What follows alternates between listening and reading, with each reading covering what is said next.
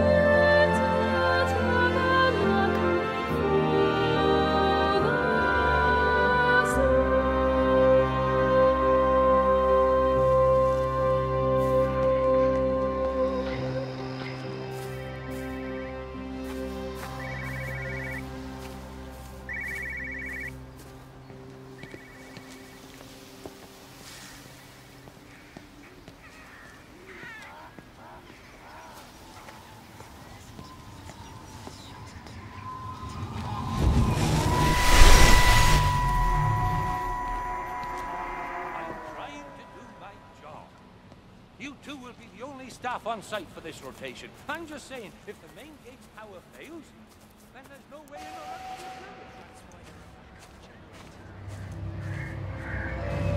possibility.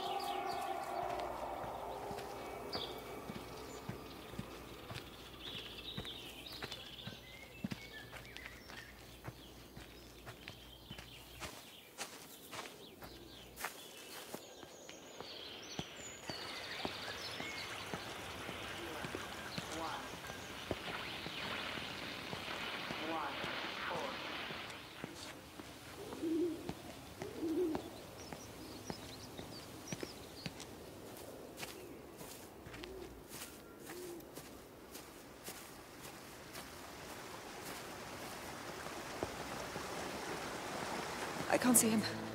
Should we go down?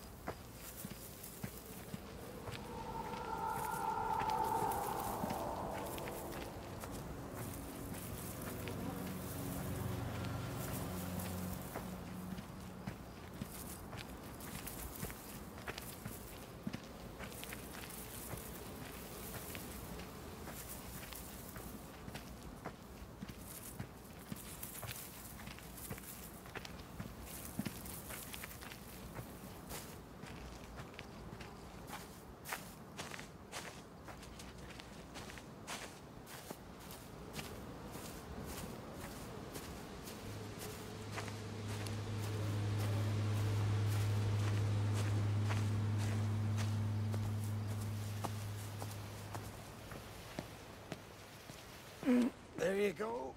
Ah, thanks, Frank. Let's get it out of the way.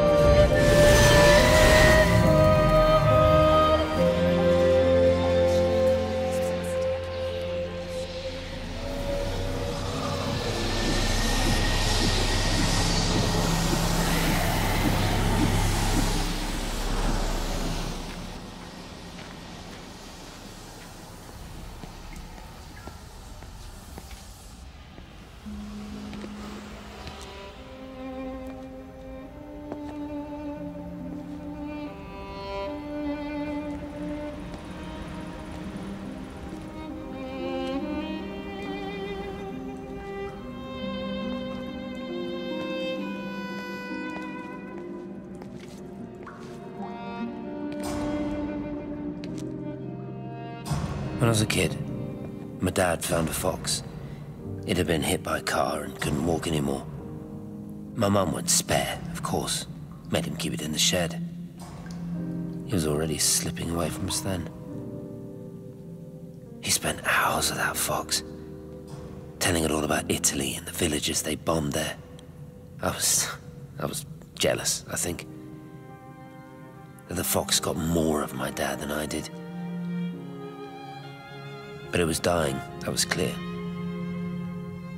So one day, I snuck out, took it a sandwich for food. I was only eight. When it bit me, I remember the anger, the shock, the hurt. Running in, screaming from the garden, my mum panicking about rabies.